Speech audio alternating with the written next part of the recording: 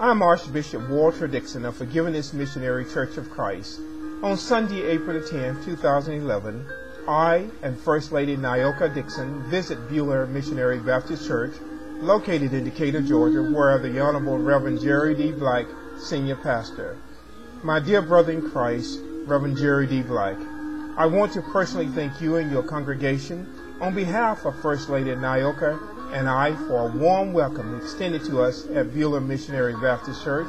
The sermon, A Call for Thanksgiving, was very inspirational, encouraging, and we were blessed from it. The Spirit of the Lord is truly present at Beulah, and your work in the community is evidenced as you put life to the Great Commission.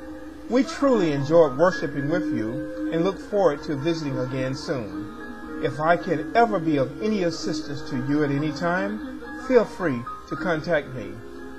With warm blessings, God bless.